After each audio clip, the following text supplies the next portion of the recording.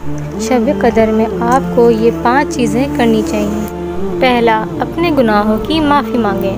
हजूर पाक सल्लल्लाहु अलैहि वसल्लम ने शब कदर की ख़ास दुआ बताई है। इन्नका अल्लाह, तू माफ़ करने वाला है और माफ़ करने को पसंद करता है। मुझे भी माफ़ फरमा दे। दूसरा खूब सारी दुआएँ मांग। शब कदर की रात अल्लाह ताला दुआओं को कबूल करता है। तो जो सब दुआएँ आपके दिल में हैं, वो अल्लाह ताला से मांग लें। तीसरा, जितना ज़्यादा हो सके कुरान पाक पढ़ें। नमाज़ें पढ़ें, स्पेशली तहजद और तरावी की नमाज़।